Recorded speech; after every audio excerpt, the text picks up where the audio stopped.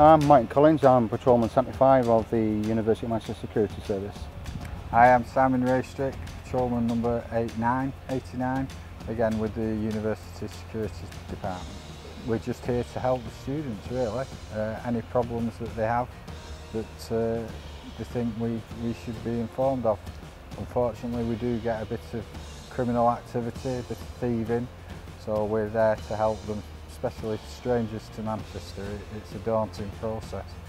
Uh, obviously, it's going to be a stressful time for obviously mums and dads, uh, visiting families, dropping various family members off.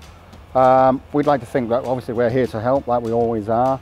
Um, we'll do the best we can to get everybody in the right place at the right time.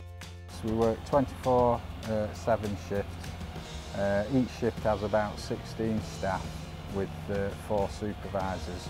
uh, three supervisors and a senior supervisor.